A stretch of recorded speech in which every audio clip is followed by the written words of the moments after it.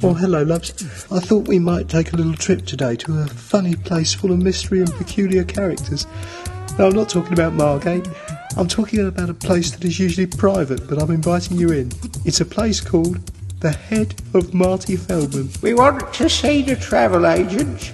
I'd like to go into Marty Feldman's head, but I don't want to travel.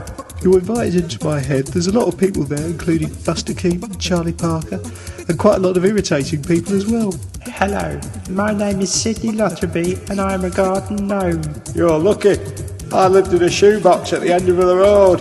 Had to lick the road clean before father beat me with a belt before he even woke up. You tell the kids that today, they won't believe you. I'd like to take the top of my head off and let the ideas spill out, but, it, but it's only for me.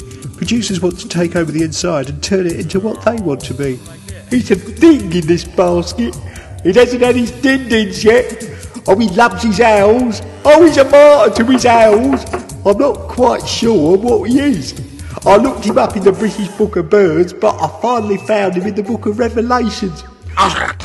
Dirty thing, you'll go deaf. Let's lift the lid and see what's inside. You pronounce it Igor. I'm the servant to Frederick Frankenstein. So, there we go, loves. So that's what's inside my head. that's who I am. Sleep tight. See you again sometime.